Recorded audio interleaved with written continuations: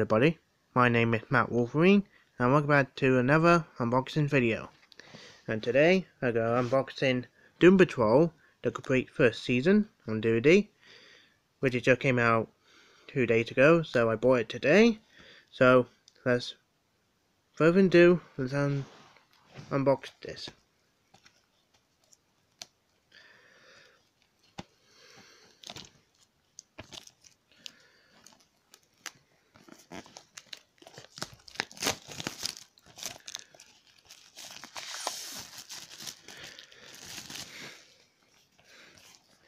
Alright then, here's a cover. Here are the main characters for the show. Here are Robot Man, Elastic Woman, Negative Man, Crazy Jane, Cyborg, and Chief. Here's the title, at Doom Patrol. Age 18 by DC. Here's a spine. Season 1, Doom Patrol, the pre-first season.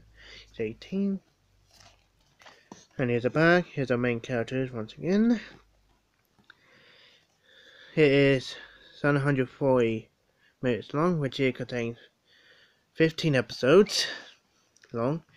And it's age 18 for strong bloody violence, gory images, threat, sex, and very strong language.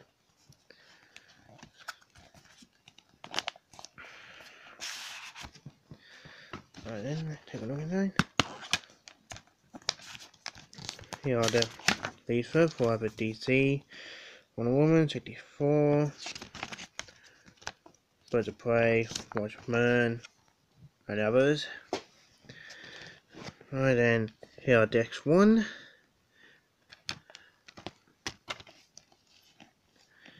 Decks 2 and Decks 3.